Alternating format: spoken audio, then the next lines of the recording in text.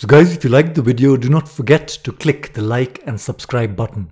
If you're using the YouTube app, click the bell icon to get notifications from Funza Academy. My name is Sanjay and I make weekly math videos. Thanks a lot and bye for now.